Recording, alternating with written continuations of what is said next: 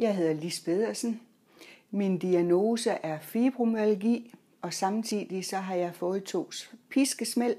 Det første i 1980, og det andet i, jeg tror det var 2014. Jeg går her på klinikken, fordi de er fantastiske som behandler, og man føler sig velkommen. Der er en dejlig atmosfære.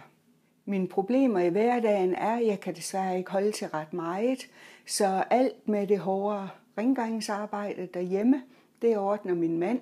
Så klarer jeg de daglige indkøb. Jeg går til behandling inde ved Martin en gang om ugen, og så går jeg til yoga hver tirsdag ved Anja. Lis har igennem nogle år gået øh, til behandling hernede, blandt andet for sin fibromyalgi. Vi behandler med øh, forskellige mobilisationsteknikker og øh, også sender at lave nogle meget blide manipulationsteknikker i nakken. Prøv at se med her.